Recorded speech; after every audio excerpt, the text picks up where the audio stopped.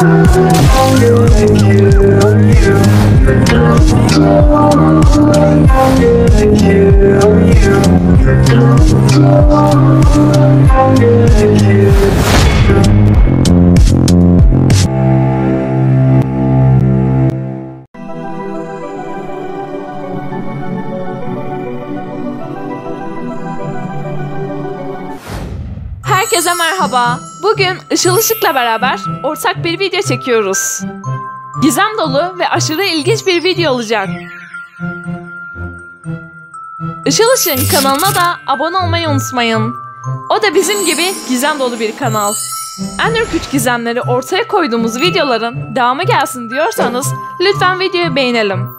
15 bin like'ta kimsenin bilmediği gizemleri döktüğümüz o video gelecektir. Her neyse, abone de olduysanız videoya geçebiliriz. Kimler hazır? Happy Tree Friends Çok şirin ve eğlenceli bir çizgi filme benzeyen bu çizgi film neden mi yasaklanmış?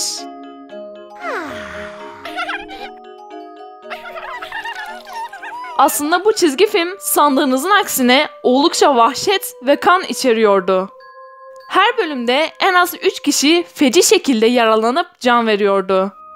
Yetişkinleri dahi rahatsız edecek düzeydeydi. Ha, çizgi film mi? Sizlere göstermemizin uygun olmadığını düşündüğümüzden isteyenler videodan sonra izleyebilirler.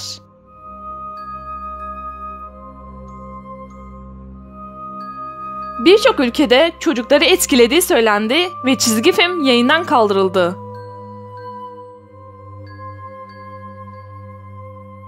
Bence yasaklanması gerçekten iyi olmuş. Peki ya sizin fikriniz ne? Yorumlarda tartışalım. Mucize Uğur Böceği Mucize Uğur Böceği ülkemizde en çok yasak alan çizgi filmlerden biri. Çizgi filmde erkek fakat kız olarak gösterilen bir karakterin başka bir erkekle yakınlaşması ülkemizde uygun bulunmadı. Ayrıca üstündeki gökkuşağı deseniyle de oldukça tepki aldı. Bölümden sonra internette kimsenin izlememesi için haberler yapıldı. Sizce haklılar mı? Yalnızca bu da değil. Rose ve Juleka adlı bu karakterler eşcinselliğe yönelttiği ve çocukların zihnine yerleştiği kanısıyla Arabistan gibi ülkelerde bu kısımlar yasaklanmıştır. Ve bu konu hakkında fikirleriniz neler? Yorumlarda tartışalım.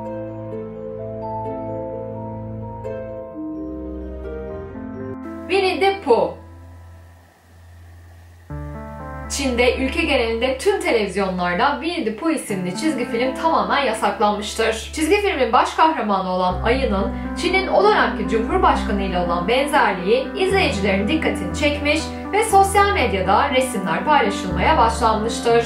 Bu oldukça sevimli ve bal bağımlısı ayının ülkenin lideriyle ortak noktaları epey dikkat çekiyordu. İzleyiciler iki figürün benzer karakter özelliklerine sahip olduklarını düşünüyorlardı. Sevimli bir ayıcığa benzemek belki o kadar kötü değildir ama Çin'in o dönemki Cumhurbaşkanı'nın hoşuna gitmediği kesin. Pokemon Nasıl yani? Bu şirin şey mi yasaklanacak? Evet aslında. Pokemon'un yasaklanma sebebi size oldukça ironik gelebilir.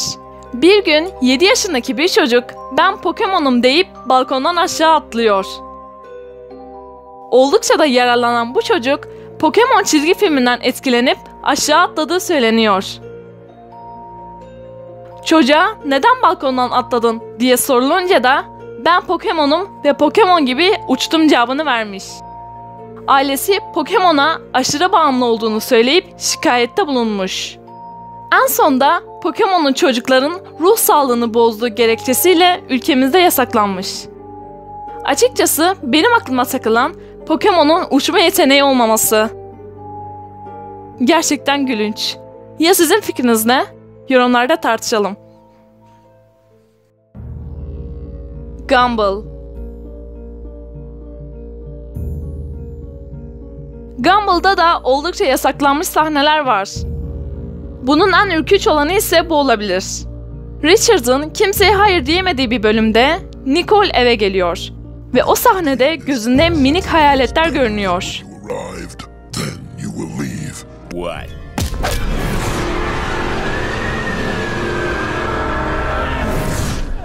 İşte bu sahne ülkemizde çocuklarda travma yaratabileceği için yasaklandı. Sizce çok mu korkunç görünüyor?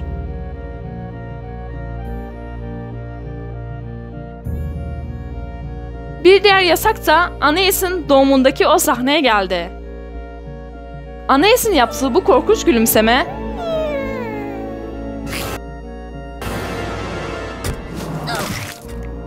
anne babalar için hoş görülmedi. Ve bu korkunç sahneyi ülkemizde kestiler.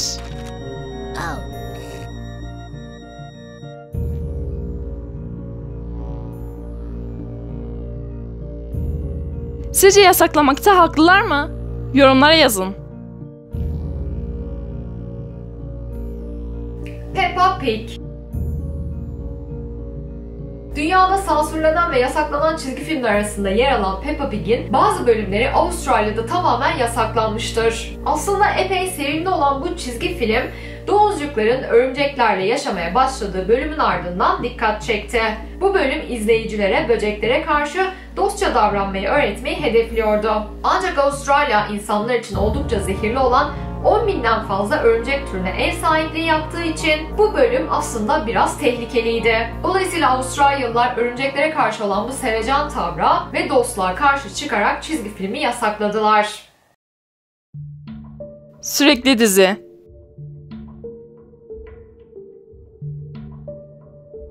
Aranızda sürekli diziyi halen izleyenler var mı?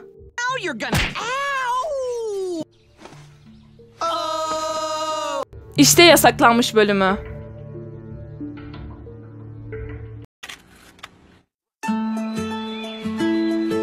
Güneş doğarken yemyeşil çayırların üstüne Sevgiyle besleniriz süt aşkı kalbimizde Mutlu Tabii ki de şaka yapıyorum.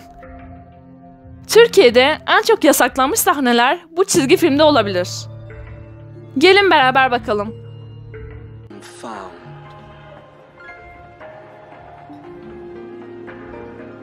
Dude time. For man.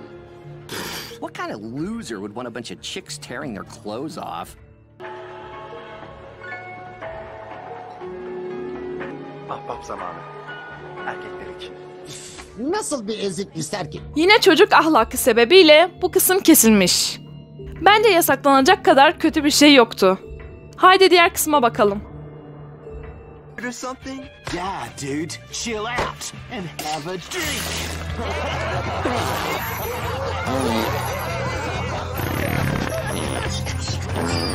Bu ne Rigby? Yoksa sen de sakız kafayı sever misin? Evet dostum, rahat ol. Ah evet, bu biraz garipti. Sizce bu sahneyi kesmekte iyi etmişler mi? Haydi yorumlarda tartışalım. Sizce bu videodaki en garip yasaklanan sahne hangisiydi? Yorumlara hemen yazın. Ayrıca en sevdiğiniz çizgi filmi de mutlaka yazın. Bakalım kimler neleri seviyor. Videomuza 15 bin like gelirse en gizemli ve kimsenin bilmediği çizgi film detaylarını da sizlerle paylaşacağız. Bu videoda bize ortaklık eden Işıl Işık'a da teşekkürler. Ona da abone olmayı kesinlikle unutmayın.